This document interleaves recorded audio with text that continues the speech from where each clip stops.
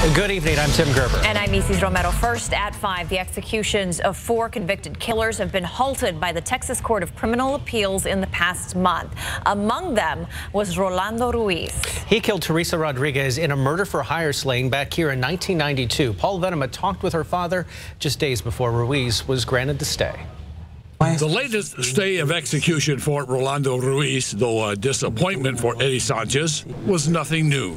It took 24 years and all kind of reprieves and resets and stuff like that, and just one thing after another. In the summer of 1992, Ruiz shot Sanchez's daughter Teresa to death in a murder for hire scheme. What he did was just terrible.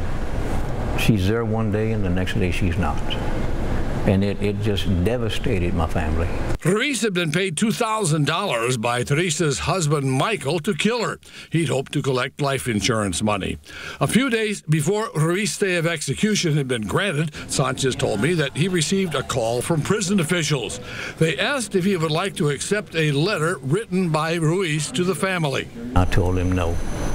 I don't want it. I don't want to see it. Uh, I don't want to give him the the satisfaction of knowing that uh, what's he going to say? I repented. I'm sorry. It's not going to bring my daughter back. You sound like you're still angry. Yes, I am. I asked if he has or ever will forgive Ruiz. That's between me and God. You know, between me and God. If you had the opportunity, would you say anything to him? I wouldn't want to say it on TV, but yes, I would have. Paul Venema, KSAT 12 News.